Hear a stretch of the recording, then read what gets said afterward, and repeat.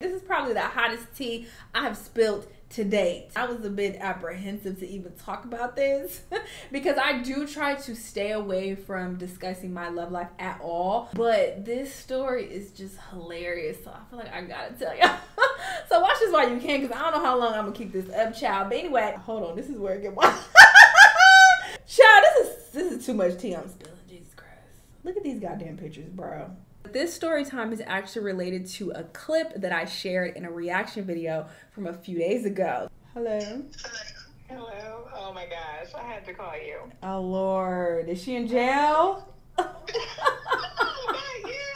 So I left that little part in because I thought it was funny, and I'm like, oh, they'll probably laugh and move on. But no, apparently I had people DMing me asking like who's in jail, what's going on, like are you, you are you gonna let us know? Like we want to know. And I was like, oh, niggas is nosy. Okay, so sure, I will share this particular story time. Try wipe away my pedigree, but please find a nigga out there rapping this incredibly. Kendrick. What you mean, find a nigga? Kendrick. Is it the way these silky bundles caress my jiggly ass? Girl, alright. I've been trying to say goodbye, but I'm gonna miss you, girl, the second you're gone.